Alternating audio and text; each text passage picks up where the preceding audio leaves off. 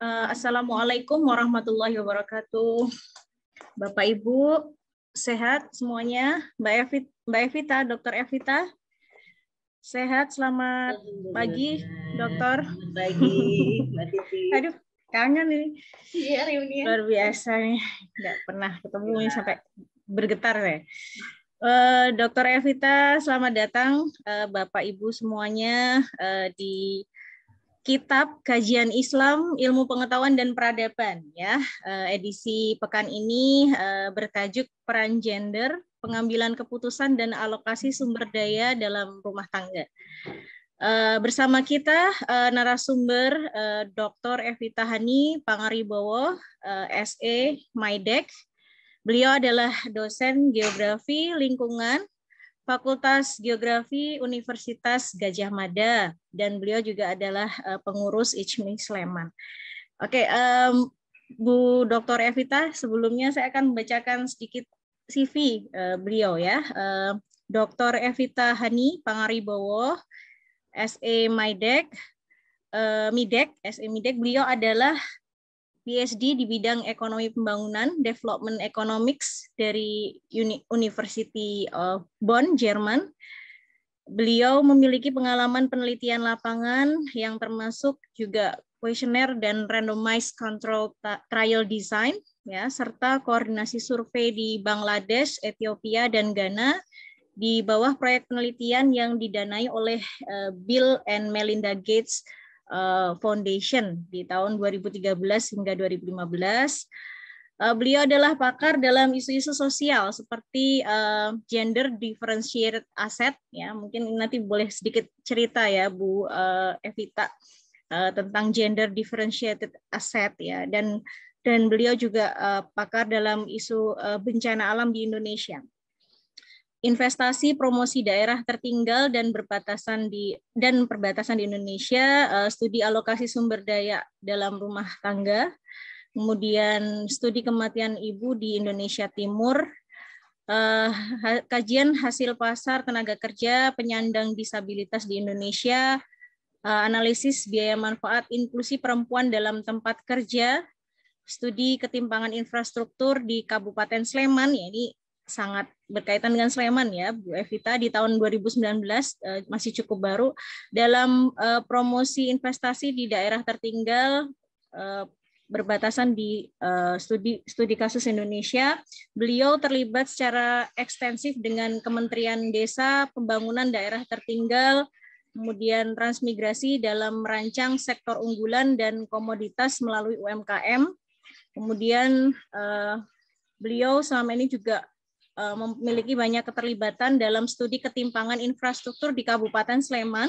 Ya, salah satu tugasnya adalah pemetaan UMKM di Kabupaten Sleman dan konsekuensinya terhadap pertumbuhan ekonomi regional dan juga ketimpangan. Eh, baik Bu Evita, eh, tanpa berlama-lama lagi kita akan mendengarkan paparan beliau setengah jam ya Bu Evita untuk Eh, presentasi, kemudian kita akan lanjutkan dengan sesi diskusi. Baik kepada Ibu Dr. Evita, Evita Hani Pangaribowo, kami persilahkan. Baik, Bismillahirrahmanirrahim. Assalamualaikum warahmatullahi wabarakatuh. Uh, selamat pagi Bapak Ibu semuanya. Terima kasih kepada Mbak Titis yang sudah memberikan awalan yang sangat baik tadi ya Kemudian saya ucapkan terima kasih juga kepada Ketua ICMI Oda Sleman. Di sini ada Pak Akbar. Terima kasih sudah diberikan kesempatan untuk sharing beberapa poin uh, terkait dengan isu gender, alokasi sumber daya uh, dalam rumah tangga, dan pengambilan keputusan. Uh, apakah suara saya terdengar, Bapak Ibu? Jelas, Bu. Gitu. Yeah, baik. Uh, semoga Bapak Ibu semua dalam uh, keadaan sehat, dalam kondisi yang terbaik ya uh, ini pagi-pagi sudah uh, menyimak ya pagi sekali 5.30 tapi sudah terang. Uh, saya pikir Bapak Ibu ikut maraton hari ini kan baru Borobudur maraton, nggak ada ikut maraton ya. Iya. Bu Evita ikut ya? Oh, enggak. Dari aja saya di rumah ini. ya mohon izin share screen ya Mbak. Ya Pak G, Pak Akbar nih, monggo. Ya, makasih. Sudah terlihat Bapak Ibu? Sudah. Ya, baik. Ya, ini mohon izin. Ya, baik.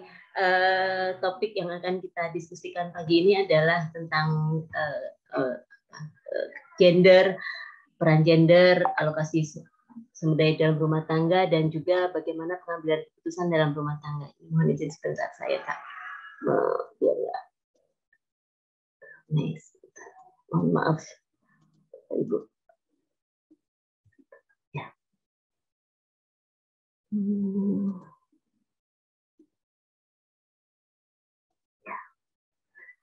Ya. jadi barangkali akan kita awali dengan konsep ya, konsep mengapa gender, pengambilan keputusan dan alokasi sumber daya dalam rumah tangga itu menjadi sebuah isu yang penting.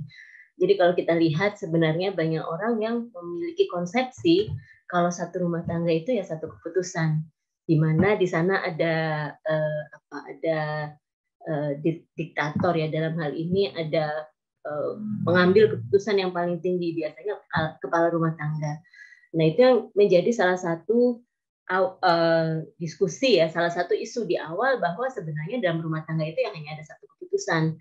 Yang kalau lihat di sini, kalau kita lihat banyak yang menyebutnya sebagai unitary model.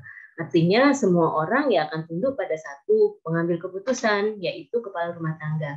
Atau siapa pun itu yang kemudian dianggap sebagai orang utama yang kemudian memiliki power ya untuk menentukan alokasi sumber daya, untuk menentukan pengambilan keputusan dan hal-hal yang berkaitan dengan bagaimana sebuah eh, entitas dalam hal ini rumah tangga akan mencapai tujuannya. Tapi ternyata kalau kita lihat eh, ada isu yang lain ya, ada isu yang sebenarnya hal tersebut terbukti tidak eh, tidak terjadi gitu. Di mana kalau kita lihat unitary models itu Eh, tidak kemudian mengakomodir bahwa sebenarnya masing-masing anggota rumah tangga atau masing-masing agent dalam rumah tangga ini juga sebenarnya memiliki keputusan dan memiliki partisipasi atau memiliki kontribusi dalam uh, rumah tangga.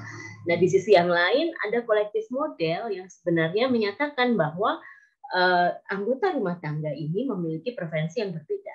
Bahkan kalau kita lihat ya beberapa studi yang kemudian melihat Eh, bahkan dalam kultur patriarkat sekalipun kultur kultur yang patrilineal itu sebenarnya eh, masing-masing anggota rumah tangga ini berusaha akan memaksimalkan uh, kepuasannya sehingga mereka kemudian memiliki keputusan yang berbeda. Nah, di sini kemudian dari berawal dari kolektif model yang berusaha menjelaskan bahwa dalam satu rumah tangga itu bukan merupakan black box ya, melihat bahwa terkadang alokasi sumber daya dalam rumah tangga yang bervariasi ini akan menimbulkan outcome yang berbeda, akan menimbulkan uh, apa tingkat kesejahteraan yang berbeda. Nah, um, kolektif model ini yang kemudian menjadi salah satu landasan ya beberapa bantuan sosial dari pemerintah di banyak negara berkembang seperti di Meksiko, di Bangladesh dan banyak negara di sub-Saharan Afrika melihat bahwa ada potensi ketika sebuah bantuan itu diberikan kepada satu agen tertentu, bisa perempuan, bisa misalnya anak atau bisa bahkan uh, neneknya gitu ya. Uh, karena kemudian ketika uh, sumber daya tersebut diberikan kepada anggota tertentu, maka hasilnya barangkali akan berbeda. Dan ini kemudian menjadi salah satu entry point bahwa beberapa bantuan terkadang tidak bisa diberikan dalam unit rumah tangga atau dalam satu unit ya karena yang menjadi penerima manfaat adalah kepala rumah tangga misalnya. Tapi kemudian karena ada eh, apa ada ada pengambilan keputusan yang berbeda ini kemudian apa kemudian perempuan ini menjadi salah satu hal yang cukup penting dalam rumah tangga sehingga isu gender dalam rumah tangga menjadi uh, hal yang perlu dipertimbangkan ketika menetapkan bantuan atau menetapkan penerimaan sasaran. Di sisi yang lain, studi sudah banyak menunjukkan bahwa ketika seorang perempuan dalam rumah tangga atau anggota lain dalam rumah tangga yang dianggap memiliki peran cukup penting eh, akan memberikan pengaruh yang cukup besar terhadap eh, kesejahteraan rumah tangga. Contohnya misalnya kalau kita lihat di sini dalam konteks Indonesia ya studinya dari eh, Agnes Kwi yang menggunakan data FLS menunjukkan bahwa ketika seorang perempuan diberikan sumber daya maka capaian atau tingkat kesejahteraan rumah tangga itu akan meningkat. Dan ini banyak sekali uh, ditemukan di beberapa negara. Nah, di sisi yang lain di Indonesia kita semua tahu ibu-ibu ini adalah menteri keuangan ya atau sebagai uh, apa pemegang otoritas yang cukup tinggi ya dalam hal manajerial sebenarnya bukan hanya manajerial tapi yang cukup penting di sini adalah pengambilan keputusan karena ketika dalam konteks manajerial mengatur kemudian membagi dan keputusan tetap di tangan kepala rumah tangga yaitu menjadi sebuah hal yang berbeda. Nah dalam hal ini uh, apa studi saya ini sebenarnya ingin melihat bagaimana peran peran perempuan dalam pengambilan keputusan dan bagaimana kemudian aset yang dimiliki oleh perempuan ini memberikan kontribusi yang berbeda dalam uh, rumah tangga.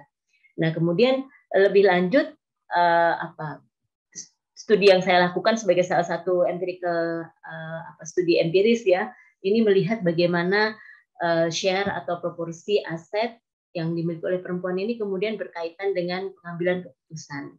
Jadi ini ada sebuah hal yang uh, apa ya basic sebenarnya karena perempuan ini sebenarnya perlu memperoleh perhatian yang memperoleh perhatian yang cukup tinggi dalam dalam pengambilan keputusan di rumah tangga.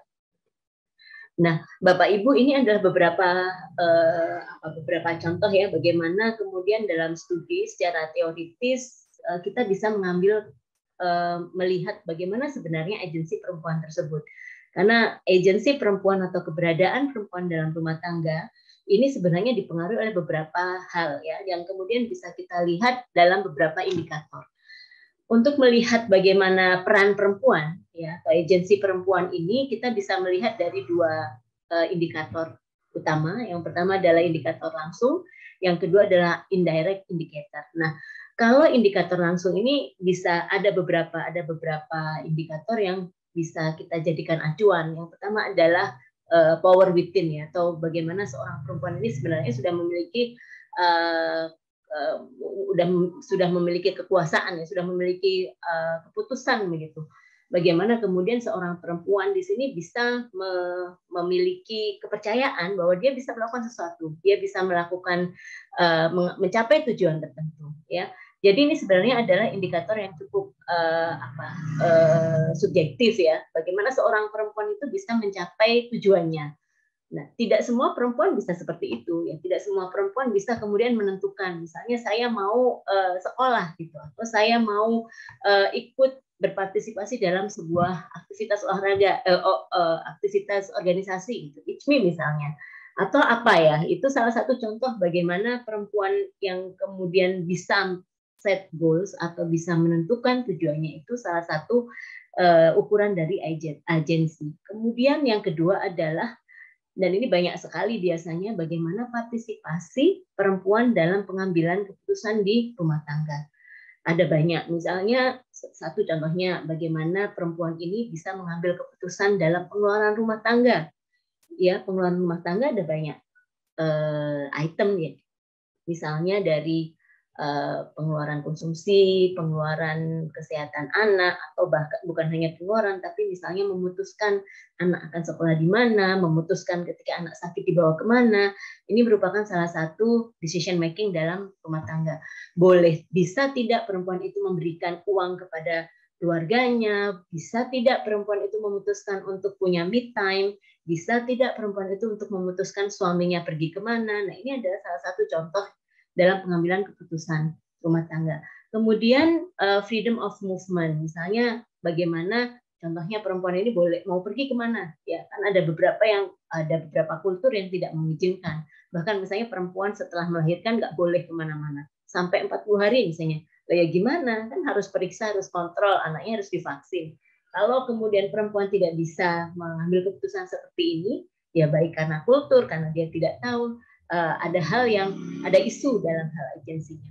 Kemudian freedom from violence ya, ini bagaimana perempuan ini bisa memiliki kebebasan ya, bisa mengatakan tidak ya ketika ada kekerasan, kemudian ada uh, apa ada beberapa hal ya yang kemudian berkaitan dengan uh, domestic violence biasanya.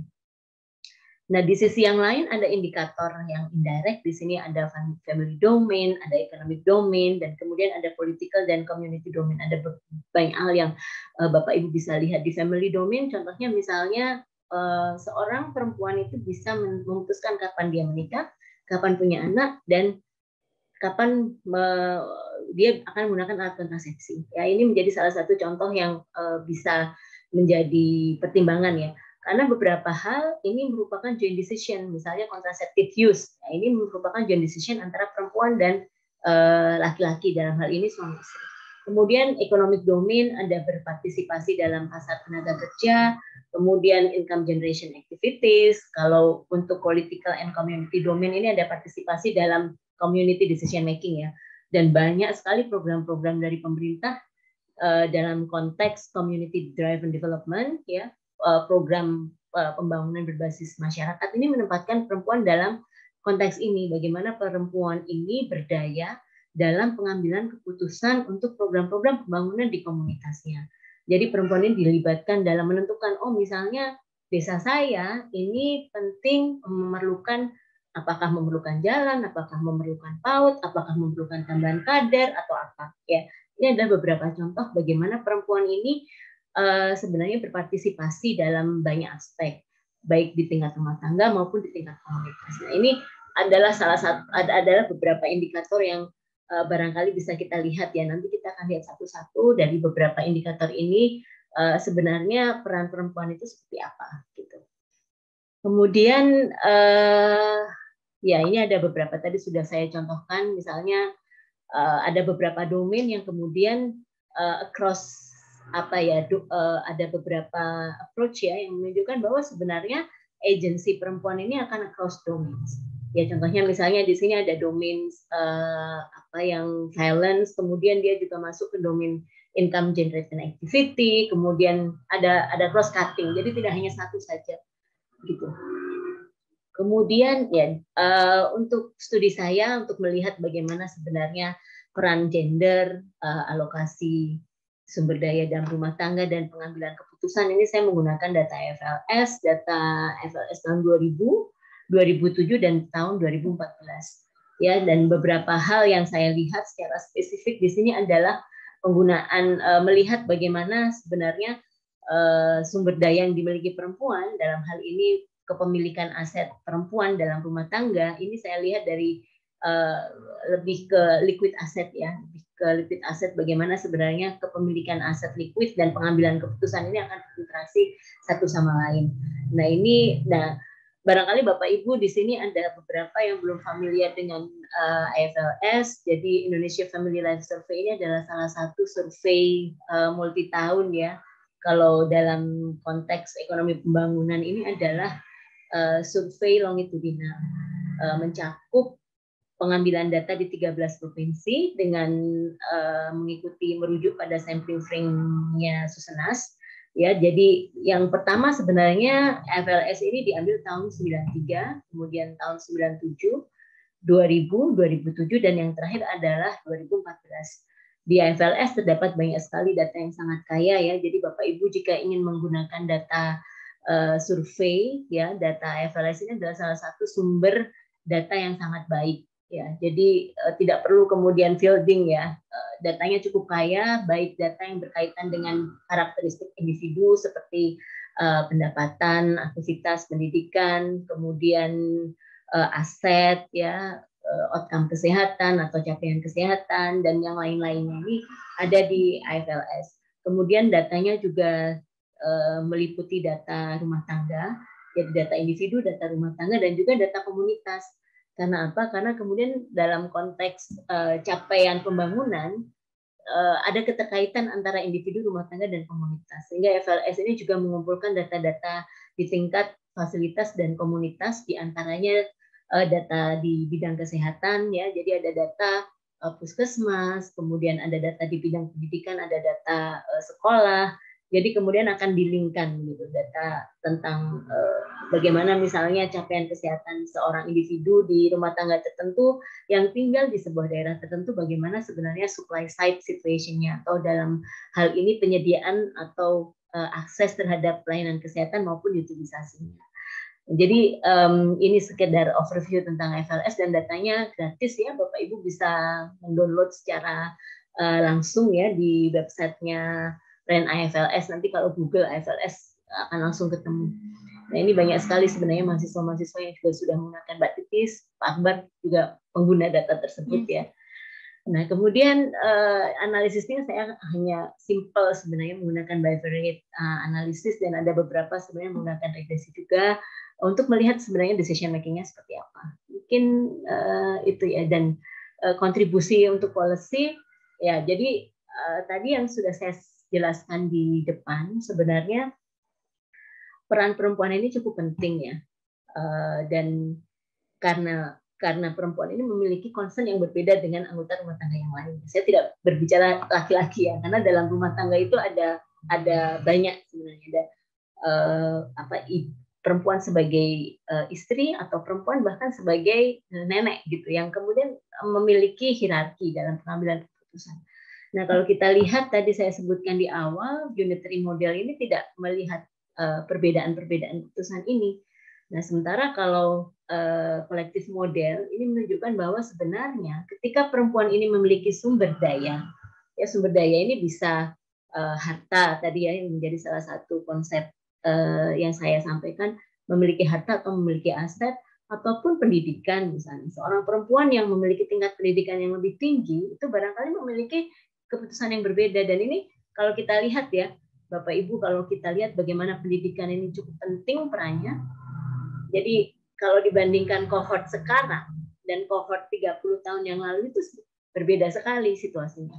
Kalau kohort tahun barangkali mungkin sekitar 20 tahun yang lalu itu lebih banyak kepala rumah tangga atau suami ini memiliki tingkat pendidikan yang lebih tinggi dibandingkan istrinya dibandingkan pasangannya tapi untuk yang sekarang itu bahkan kita lihat dalam uh, pasar perkawinan ya itu ternyata lebih banyak perempuan yang tingkat pendidikannya lebih tinggi dan nanti akan kita lihat bagaimana keputusannya, bagaimana konsekuensi ini memiliki, uh, bagaimana situasi ini memiliki konsekuensi yang berbeda. Nah, oleh karena itu, ketika perempuan memiliki sumber daya, baik dalam hal ini aset maupun pendidikan maupun pengambilan keputusan, maka dia akan kemudian mentransfer resource yang dia miliki itu untuk hal-hal yang lebih baik. Gitu. Dalam hal ini biasanya perempuan konsennya ke uh, pengeluaran pendidikan, pengeluaran kesehatan ya. Nah, oleh karena itu beberapa studi merekomendasikan ketika mengalokasikan bantuan ya, bantuan ini kan tujuannya memberikan sumber daya ke rumah tangga. Itu disarankan berikan kepada siapa yang kemudian akan lebih concern gitu.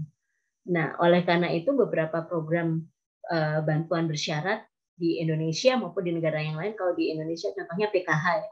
PKH itu secara spesifik menyasar perempuan yang memiliki anak yang kemudian sedang hamil gitu ya untuk kemudian diberi bantuan dan menggunakan bantuan tersebut dengan syarat misalnya menyekolahkan anaknya dengan syarat memeriksakan kesehatan anaknya secara kontinu.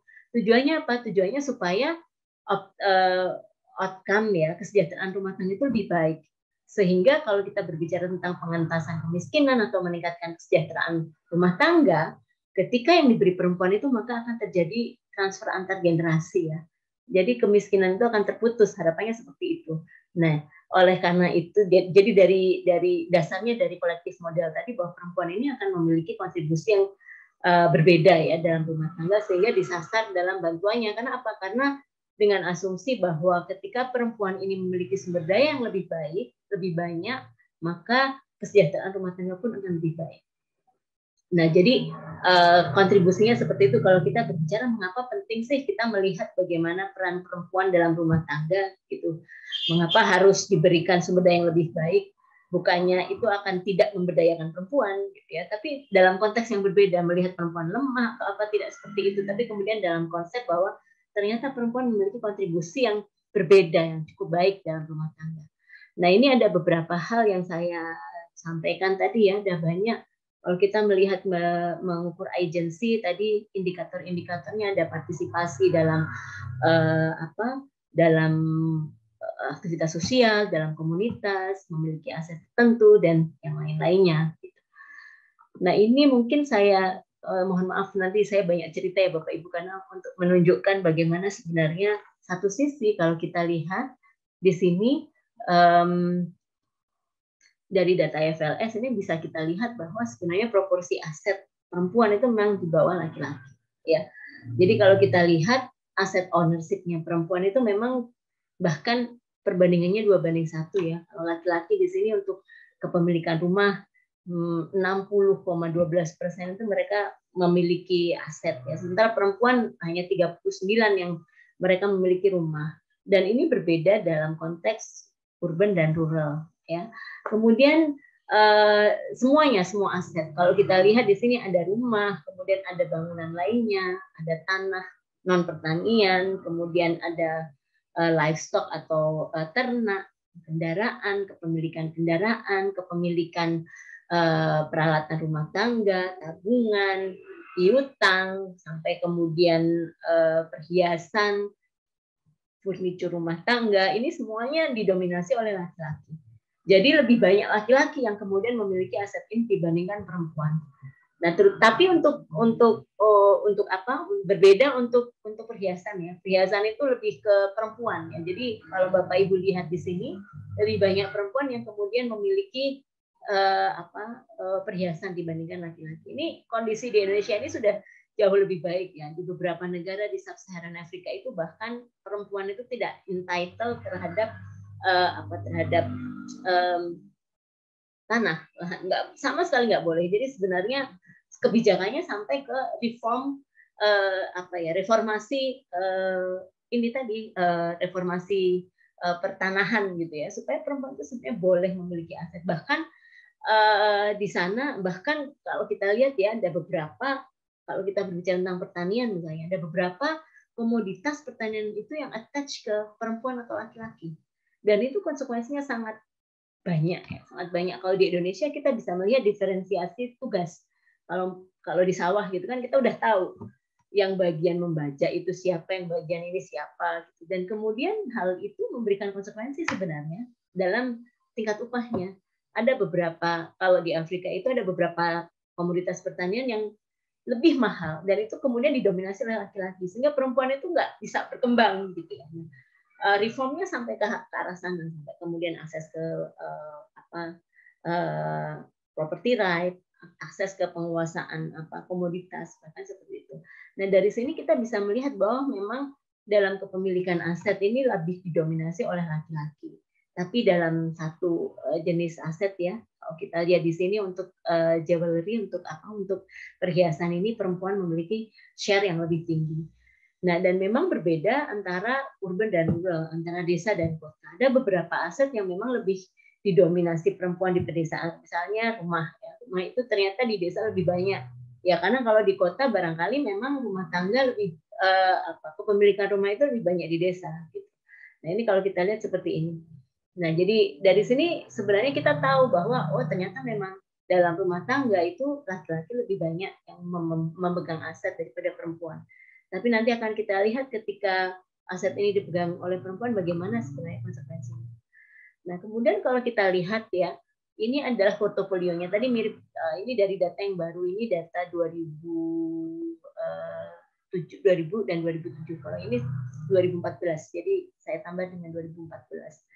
Nah, kemudian kalau kita dari dari, dari tahun 2000 sampai 2014. Jadi kalau kita lihat memang uh, profilnya ya Bapak Ibu uh, rumah tangga ini yang dominan ya memang household appliance ya. Jadi uh, peralatan rumah tangga itu adalah aset yang banyak dimiliki. Kemudian disusul oleh uh, kendaraan ya, kendaraan dan uh, selanjutnya adalah uh, ternak, kemudian saving ya.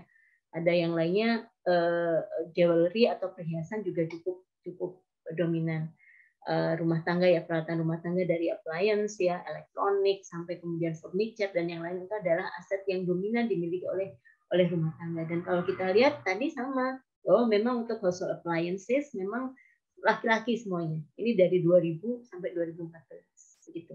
Jadi kita lihat bahwa memang kepemilikan aset masih didominasi oleh eh, laki-laki uh, kecuali untuk uh, perhiasan ya. Jadi ya mungkin laki-laki kalau punya perhiasan ya aneh ya.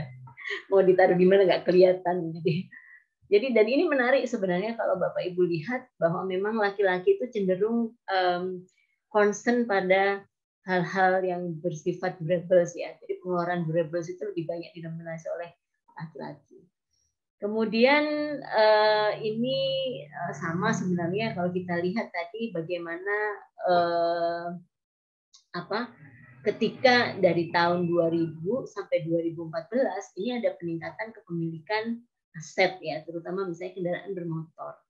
Tapi ternyata ya kepemilikan kendaraan bermotor ini tidak kemudian diikuti dengan meningkatnya kepemilikan kendaraan bermotor oleh perempuan ya. Walaupun nanti kalau kita lihat ketika perempuan itu memiliki motor, kontribusinya seperti apa dalam pengambilan keputusan rumah tangga. Ya, jadi seperti ini Bapak Ibu, gambaran di Indonesia itu ya kita bisa merefleksikan diri kita ya, Bapak Ibu di sini bagaimana di rumah tangga kita masing-masing sebenarnya seperti apa pengaturan rumah tangganya.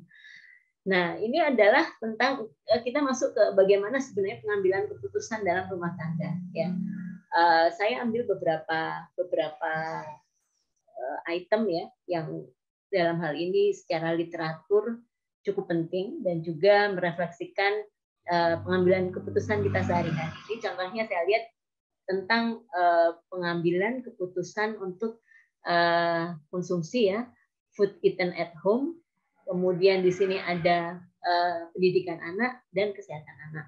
Nah, kalau kita lihat di sini untuk pengambilan keputusan tentang uh, makanan itu uh, lebih banyak perempuan ya. Jadi kalau kita lihat di sini menyampaikan bahwa perempuan itu lebih banyak yang kemudian me, me, apa, menyatakan uh, yang dia berpartisipasi dalam uh, pengeluaran untuk makanan. Ya, di sini laki-laki juga terlibat, tapi lebih banyak perempuan yang terlibat dalam pengambilan keputusan uh, dalam dalam makanan.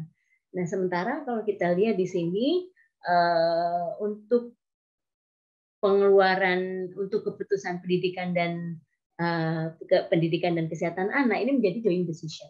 Jadi Bapak Ibu bisa lihat di sini uh, dan dan ternyata meningkat ya, meningkat dari tahun 2000 sampai 2014 bahwa laki-laki yang kemudian terlibat dalam pengambilan keputusan uh, anak uh, sekolah anak dan pendidikan itu meningkat uh, sekitar menjadi 30 persen.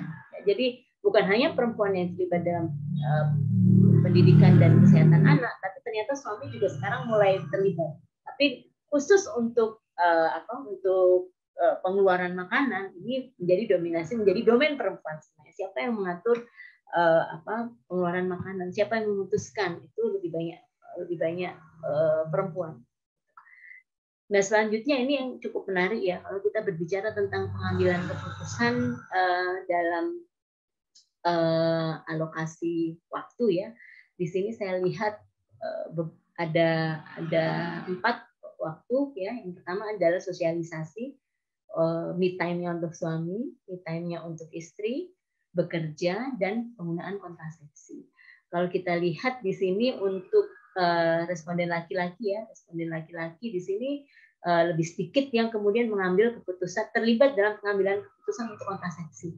Ya, jadi sekitar 42 persen ya di tahun 2000, tapi kemudian meningkat menjadi 52 persen. Ini yang cukup cukup menarik ya dibandingkan dengan apa? Dibandingkan dengan uh, pengambilan keputusan yang lain ternyata laki-laki itu juga uh, terlibat dalam pengambilan uh, untuk uh, kontrasepsi.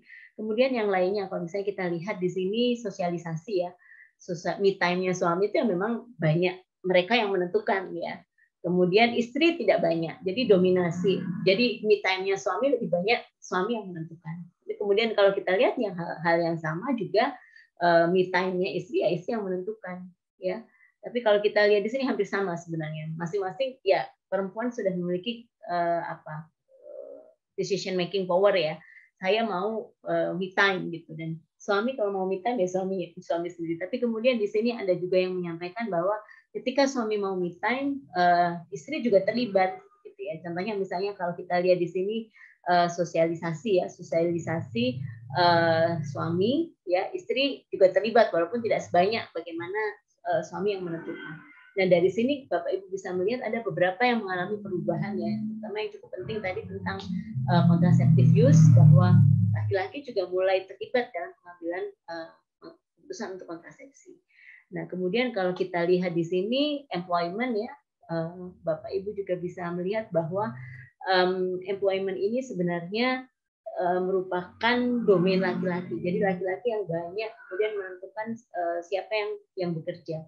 Kalau istri tidak tidak terlalu banyak bisa kita Ya, begitu. Ini nanti bisa kita diskusikan lebih lanjut. Ada ada juga yang di sini kalau bagian ini menunjukkan joint decision. Ya, jadi dua-duanya juga terlibat dalam pengambilan keputusan.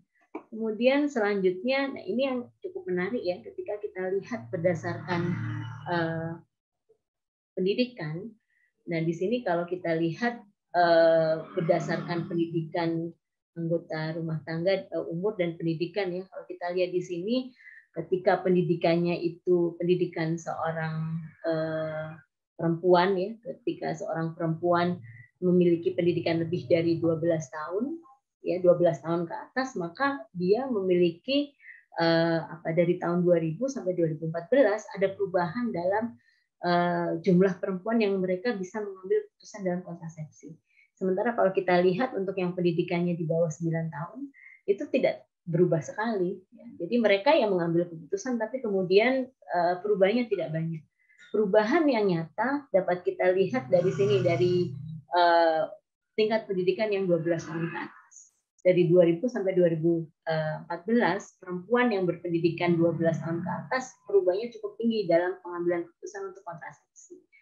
Nah di sisi yang lain untuk umur Bapak Ibu bisa melihat memang eh, pengambilan keputusan yang cukup tinggi ada di tingkat ini ya umur perempuan di bawah eh, umur perempuan antara 30 sampai eh, 50 tahun ya umur produktif. Kemudian nah ini dari dari pengambilan keputusan untuk kontrasepsi dan kita bisa melihat bagaimana peran pendidikan perempuan ini sangat penting dalam pengambilan keputusan untuk kontrasepsi. Jadi kalau kita lihat bagaimana eh, keberhasilan family planning sebenarnya memang betul didorong oleh pendidikan perempuan karena semakin tinggi tingkat pendidikan perempuan maka pengambilan keputusan dalam hal ini juga lebih tinggi. Untuk employment ini juga eh, menarik ya. Jadi ketika kita lihat bahwa uh, sama sebenarnya cukup konsisten dari apa dari uh, keputusan tentang kontrasepsi. Jadi untuk perempuan yang tingkat pendidikannya kurang dari 9 tahun, ini uh, mereka mem, apa ya tingkat tingkat partisipasi dalam bekerja itu mengalami penurunan. Tapi untuk mereka yang tingkat pendidikannya tinggi di atas 12 tahun ini mengalami peningkatan. Ya, jadi uh, betul bahwa memang uh, ke, apa, partisipasi perempuan dalam uh, pasar tenaga kerja dan pendidikan itu berkorelasi. Nah, untuk yang ini kita juga bisa melihat bahwa partisipasi perempuan dalam pasar tenaga kerja itu juga berkaitan dengan dengan. Um, nah ini kita ini yang yang cukup menarik Bapak Ibu kalau kita lihat bagaimana kepemilikan tadi tadi kita lihat di aset secara khusus tentang uh, perhiasan ya. Mengapa? Karena perhiasannya adalah aset yang memang secara eksplisit tadi bisa kita lihat yang memang didominasi oleh perempuan gitu. Jadi perempuan yang uh, dibandingkan dengan aset yang lain hanya spesifik uh, uh, apa uh, perhiasan ini yang kemudian dipegang lebih banyak oleh perempuan. Dan kita bisa lihat Bapak Ibu di sini kalau kemudian uh, perempuan memiliki aset yang uh, jewelry atau perhiasan yang tinggi, mereka juga memiliki mereka menyatakan bahwa uh, cukup banyak ya, hampir lebih dari 90% yang kemudian mereka terlibat dalam pengambilan keputusan dalam rumah tangga, terutama dalam uh, makanan dan cukup tinggi untuk yang lainnya. Di sini untuk uh, pendidikan, untuk uh, pendidikan anak, kesehatan anak, ya, uh, waktu mid time ya untuk bersosialisasi, kemudian menentukan apakah eh, apa eh, suaminya bekerja atau tidak, menentukan keputusan untuk menggunakan alat kontrasepsi atau tidak dan ini kemudian meningkat ya yang misalnya dari tahun 2000 tidak di tahun 2014 mengatakan bisa ya jadi ada ada. Jadi kalau kita lihat di sini memang betul bahwa ketika perempuan memiliki aset yang lebih banyak maka dia akan memiliki kontribusi yang lebih besar dalam pengambilan keputusan. Dan kita bisa melihat bagaimana ketika hal tersebut terjadi untuk keputusan-keputusan yang penting dalam rumah tangga. Dalam hal ini contohnya misalnya untuk uh, pendidikan anak, kesehatan anak, sehingga perempuan itu dalam hal ini lebih, lebih berdaya. Nah selanjutnya kalau kita lihat, nah ini tadi ada dua aset yang mengalami peningkatan dari tahun 2000 sampai 2014. Salah satunya adalah vehicle atau kendaraan bermotor. Jadi memang ya dalam konteks saat ini ya motor itu menjadi salah satu uh, apa ya aset yang cukup penting ya, terutama bagi skuter kelas. Ya. Skuter kelas itu kelas menengah ya. Kelas menengah ini aset yang mereka miliki adalah kendaraan dan itu cukup penting dalam hal uh, kendaraan ini menjadi salah satu uh, sumber daya yang penting dalam mobilitas baik mobilitas secara fisik ya maupun mobilitas sosial.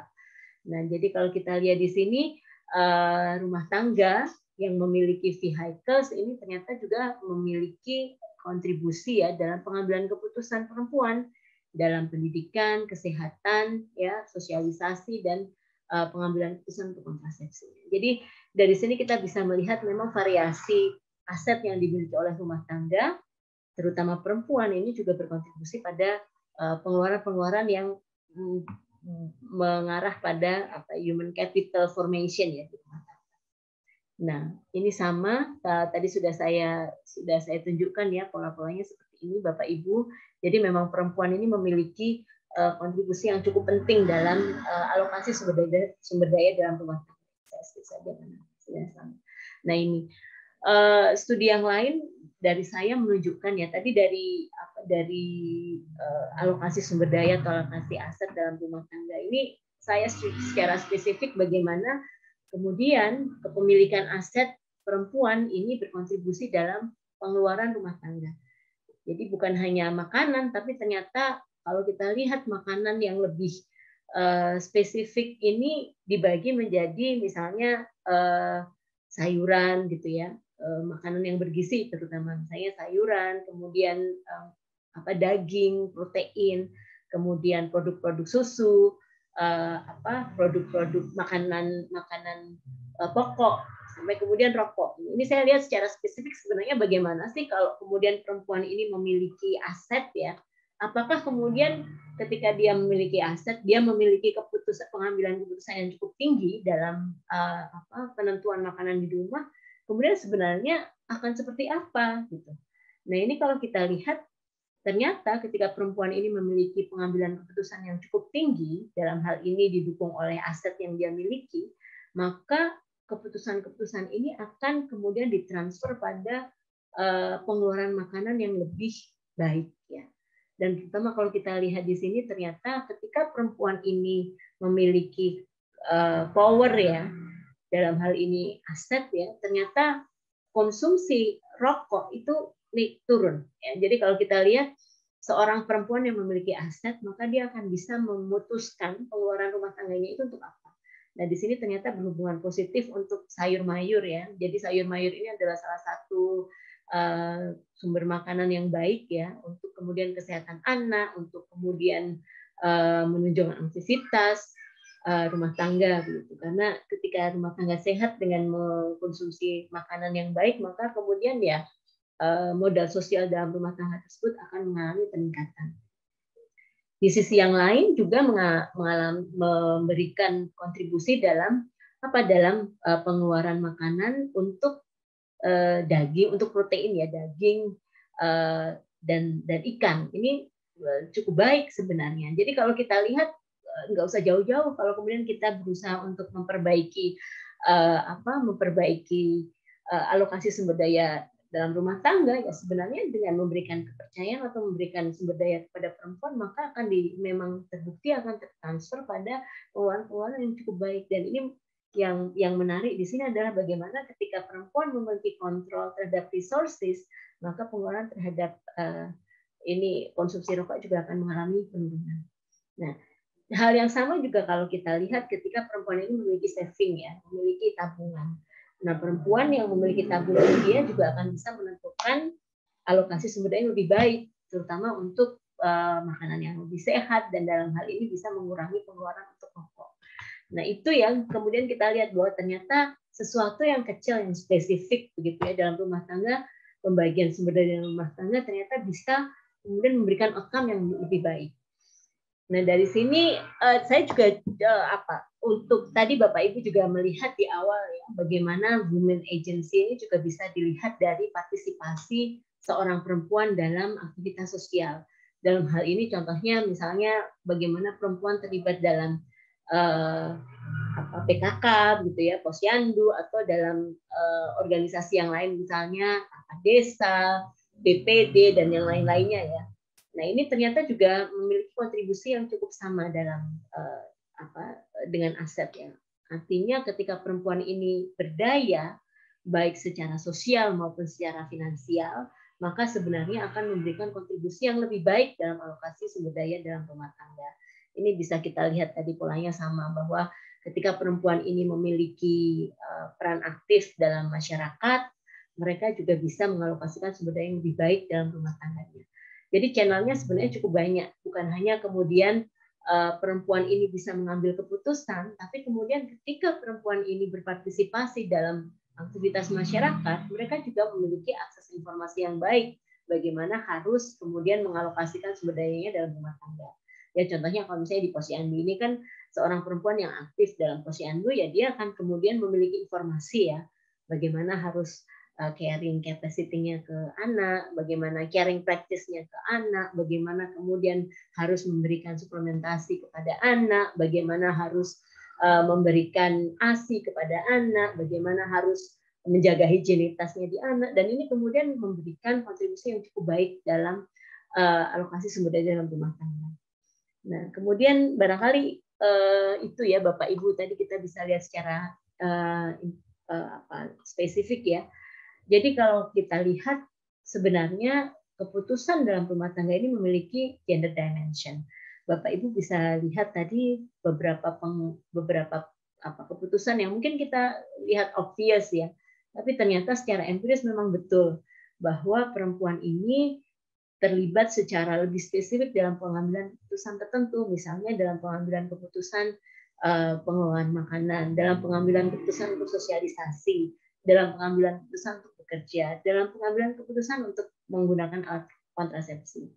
Nah, jadi dalam semua pengambilan keputusan ini ya, jadi dominasi perempuan ini sebenarnya dalam alokasi makanan dalam rumah tangga. Kita tidak kemudian melihat bahwa ah cuma itu gitu ya. Tapi ternyata alokasi makanan dalam rumah tangga ini menjadi satu hal yang cukup penting. Ya, ketika sebenarnya perempuan ini ketika dia lebih berdaya maka dia sebenarnya bisa mengalokasikan makanan dalam rumah tangganya untuk hal-hal yang lebih lebih baik gitu. Nah, ini challenge sekali yang saya saya uh, di, saya lihat di sini adalah food allocation eaten at home. Sekarang polanya sudah sangat berbeda. Nah ini yang sebenarnya nanti menarik untuk dilihat. Jadi uh, bagaimana ketika perempuan itu beli dan makan tidak tidak makan di rumah. Dan ini sekarang banyak sekali ya bahwa salah satu pengeluaran yang cukup besar dalam rumah tangga adalah food allocate food uh, eaten outside from home. Jadi bukan makanan yang di rumah, tapi kemudian makanan beli. Ya, ini konsekuensinya cukup banyak untuk kesehatan, untuk pengeluaran sendiri yang sebenarnya masih bisa diekspor. Saya belum melihat yang outside uh, from home ya. Ya sekarang apalagi ada uh, apa ada banyak aplikasi ya, yaitu yang kemudian menjadi uh, hal yang nanti bisa bisa dilihat. Nah ini sebenarnya kami ini kan sedang bekerja sama juga dengan Grab ya. Jadi melihat bagaimana sebenarnya pola-pola pola-pola pola-pola pengeluaran ini itu di geografi sedang ada kerjasama dengan dengan Grab ya dan kita sedang melihat bagaimana sebenarnya pattern konsumsi terutama dari ya ini menyebut nama mohon maaf eh, dari satu dari satu provider. Kemudian uh, nah uh, tadi laki-laki ini juga berpartisipasi dalam alokasi dalam pengambilan keputusan untuk untuk makanan sebenarnya itu meningkat sebenarnya tidak hanya dari tahun 2000 sampai 2000 14 itu pengambilan keputusan laki-laki itu meningkat dalam pengeluaran. Nah, uh, ya diharapkan ini tidak kemudian membuat laki-laki ini bisa lebih memutuskan untuk misalnya konsumsi-konsumsi yang berkaitan dengan laki-laki ya, seperti rokok. Rokok itu kan lebih spesifik ke laki-laki. Untuk konteks Indonesia itu ya yang lebih banyak merokok laki-laki yang enggak, enggak, enggak ada sedikit sekali, tidak banyak. Kemudian uh, yang ketiga yang Bapak Ibu lihat tadi ada pengambilan keputusan yang spesifik perempuan dan ada pengambilan keputusan yang joint decision. Di antaranya adalah pendidikan dan kesehatan. Eh, sosialisasi itu juga joint decision, walaupun laki-laki itu menentukan yang lebih banyak ya, tapi mereka menentukan bersama. Eh, nah, yang menarik tadi yang saya lihat bahwa ternyata pendidikan itu juga berpengaruh terhadap eh, pengambilan keputusan dan semakin tinggi tingkat pendidikan itu ternyata uh, berkorelasi dengan pengambilan keputusan penting, terutama kontrasepsi dan partisipasi dalam tenaga kerja. Nah, ini yang kemudian uh, apa yang lainnya bahwa ternyata ketika perempuan ini memiliki keputusan dalam rumah tangga, perempuan ini juga berkontribusi dalam penurunan konsumsi terutama untuk adult goods ya adult, adult goods ini contohnya rokok yang yang uh, apa yang hal-hal yang yang uh, spesifik ke laki-laki. Jadi ketika perempuan ini bisa memiliki uh, aset yang lebih tinggi, bisa mengambil keputusan yang lebih baik, mereka bisa say no gitu. Udah pak nggak usah merokok, udah ayah nggak boleh ngerokok atau dikurangi gitu ya. Nah ini ternyata uh, hal tersebut cukup penting dalam rumah tangga. Nah, yang lain-lainnya bahwa perempuan ketika dia memiliki keputusan, perempuan memiliki aset, maka dia bisa mengalokasikan pengeluarannya itu untuk konsumsi yang lebih baik ya, untuk makanan-makanan lebih bergizi yang kemudian bisa uh, berkontribusi terhadap kesejahteraan rumah tangga. Nah, sebenarnya ini yang kemudian hasil-hasil ini yang kemudian mendorong ya, mendorong pemerintah untuk kemudian mempertimbangkan ketika perempuan ini memiliki sumber daya yang lebih baik, maka ya perempuan diberikan uh, resource yang lebih baik dan maka rumah tangga akan uh, kesejahteraan kan lebih baik. Nah di sisi yang lain ada catatan ya karena tadi yang saya lakukan masih cukup simpel ya untuk melihat bivariate correlation. Ada isu bahwa aset dalam rumah tangga itu sebenarnya akumulasi bersama, gitu ya. akumulasi bersama antara suami dan istri, sehingga ya memang masih ada interaksi ya ketika suami itu juga berkontribusi dalam pengambilan keputusan karena ya akumulasinya bersama-sama sehingga barangkali nanti ke depannya bisa dilihat sebenarnya hal apa yang lebih spesifik ya? Pendidikan sebagai sebenarnya salah satu hal yang cukup spesifik karena pendidikan itu biasanya istri itu menamatkan uh, apa uh, pendidikan di awal sebelum mereka menikah. Walaupun uh, di masa sekarang tadi yang sudah saya sampaikan beda kohort itu beda beda pola. Dan Eh, menarik kalau nanti kita melihat perbandingan antar kohort ya. Kalau di kita kohort itu mengacu pada baby boomers misalnya, millennials. Kemudian nanti kita lihat ke generasi alpha, generasi Z. Itu kan sebenarnya kan kohort. Karena kemudian definisi-definisi generasi itu kan mengacu pada kapan mereka lahir. Nah, itu yang kemudian menarik untuk dieksplorasi lebih lanjut. Nah, ini uh, tantangan juga ya bagaimana kemudian antar kohort nanti kemudian berbeda atau tidak pola pengambilan keputusannya. Gitu. Nah barangkali itu uh, Mbak Titis yang bisa uh, saya sampaikan. Yeah. Gitu ya. Uh, semoga bisa memberikan insight kepada Bapak Ibu semuanya dan merefleksikan gitu ya di rumah. Kalau di sini barangkali sudah sharing roles ya. Tapi kemudian kalau kita lihat jamaknya di Indonesia, majority-nya seperti apa, kemudian isu ini menjadi penting supaya uh, banyak orang aware ya bahwa Eh, ada beberapa hal yang kita memang masih perlu mengemphasize atau memfokuskan pada eh, hal-hal yang berkaitan dengan gender. Sebenarnya gender ini bukan hanya laki-laki perempuan ya. Kalau di tempat di analisis sebenarnya lebih ke laki-laki perempuan. Kalau kita berbicara gender kan lebih ke konstruk ya, konstruksi sosial. Kita juga bisa berbicara tentang disabilitas, kita berbicara dengan hal-hal yang lain. Barangkali itu Bapak Ibu yang bisa saya sampaikan. Mohon maaf jika ada kekurangan dalam pemaparan atau ada hal-hal yang uh, belum uh, jelas begitu ya nanti bisa kita diskusikan terima kasih atas uh, kesempatan yang diberikan kepada saya.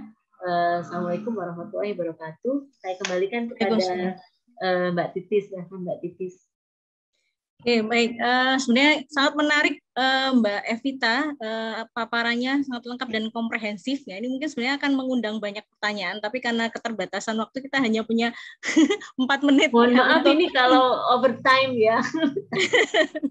ya, soalnya menarik juga pembahasannya mau motong juga uh, agak susah nih, menarik ngeflow gitu ya. ya nah, ya, ini ada ya. ada dua pertanyaan yang mungkin nanti bisa dijawab dengan singkat gitu ya. Ada Pak Dudi, kemudian Pak Suhada, uh, lalu ada Bu Majang. Nah ini mungkin bisa satu menit satu menit masing-masing ya supaya oh, iya. semuanya bisa uh, apa dijawab ya. Yang pertama Pak Dudi izin bertanya berdasarkan riset lebih bagus, eh sorry berdasarkan riset lebih bagus mana konsep kepemilikan aset sendiri-sendiri atau dicampur gono gini. Nah, mungkin silahkan uh, Bu Evita oh, iya. satu menit.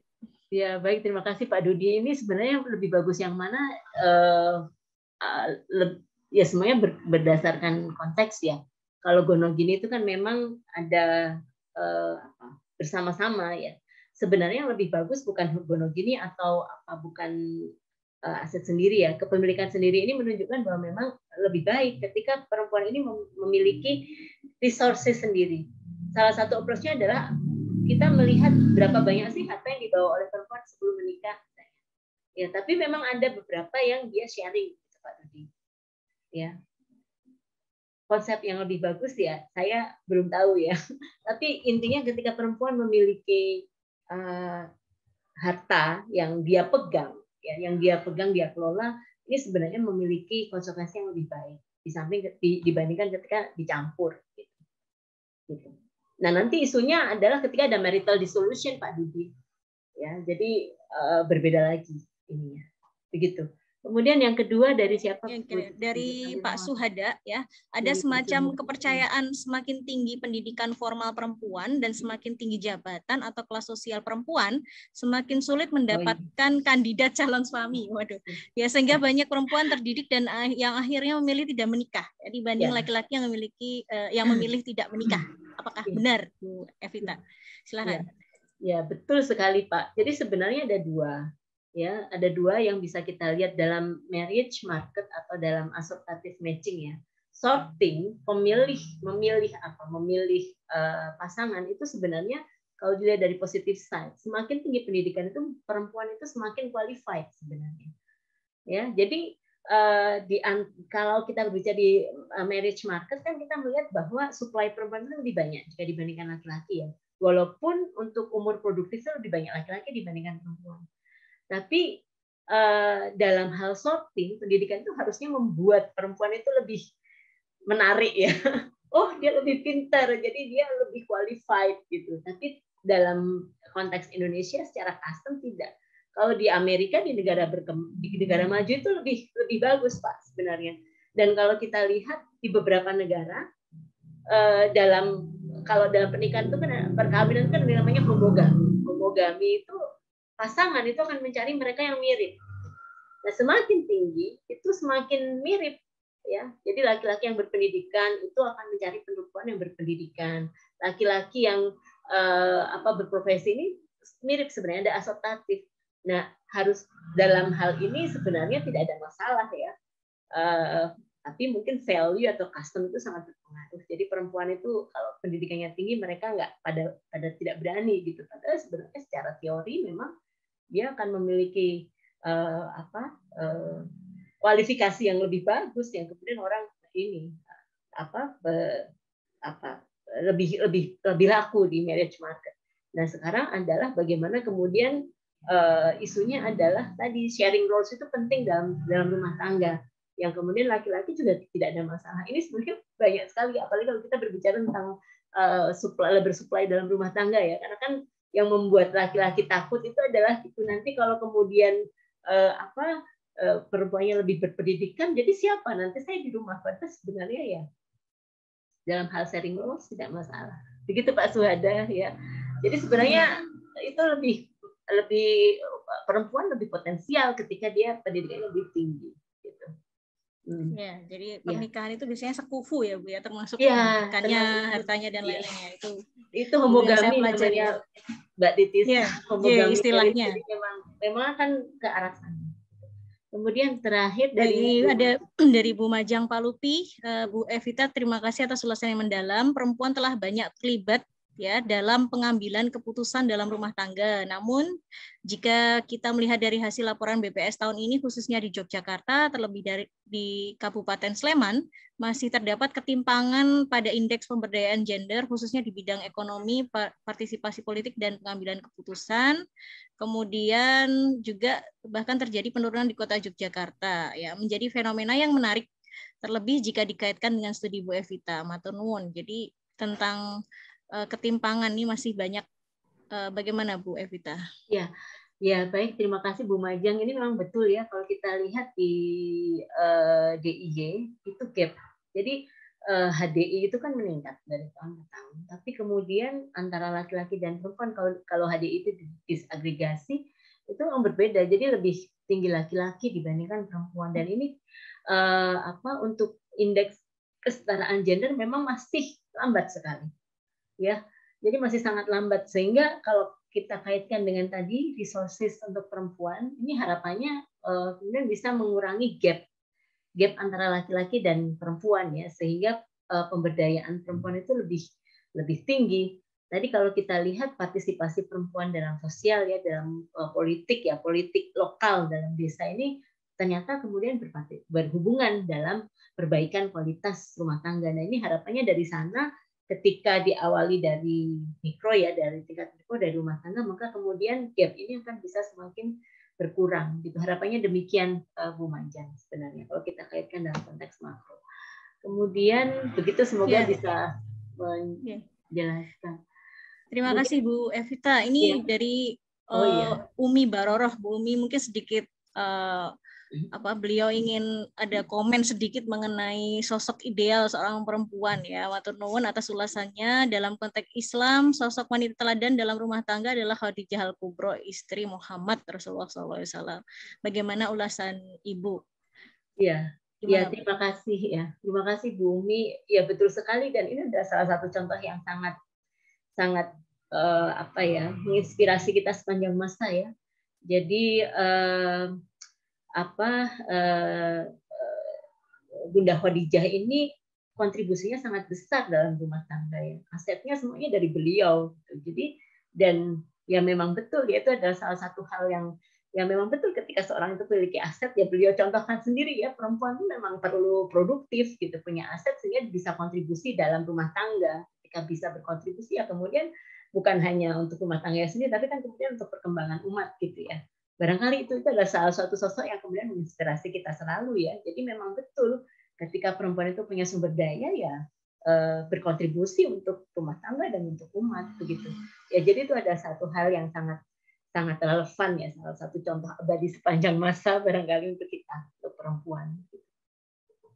Iya, yeah, terima kasih Bu Evita dan mungkin ini adalah uh, sebagai penutup ya, uh, Bu Umi Baroroh menambahkan juga perlu adanya kajian uh, yang lebih lanjut ya terkait kajian gender dalam tinjauan Islam secara komprehensif ya. Mungkin akan menjadi topik dan uh, i, apa ide ya untuk Bu Evita ya di penelitian-penelitian uh, selanjutnya. Baik, uh, terima kasih Bapak Ibu atas partisipasi dalam diskusi pada pagi hari ini ya. Uh, terima kasih uh, kepada Ibu Dr. Evita Pangribowo atas uh, presentasi yang menarik dan uh, top provoking. Selamat Ibu. Uh, mudah-mudahan uh, bermanfaat ya bagi semuanya. Uh, akhir kata uh, terima kasih. Wassalamualaikum warahmatullahi wabarakatuh. Waalaikumsalam. warahmatullahi wabarakatuh. Terima kasih. Ya, matur nuwun. Sehat-sehat Bapak Ibu semuanya. Ya, matur nuwun Bu Evita. Ya, sama-sama. Terima kasih Mbak Majang, Mbak Titis, Pak Akbar. Sehat-sehat selalu. Assalamualaikum warahmatullahi wabarakatuh. Waalaikumsalam. Waalaikumsalam.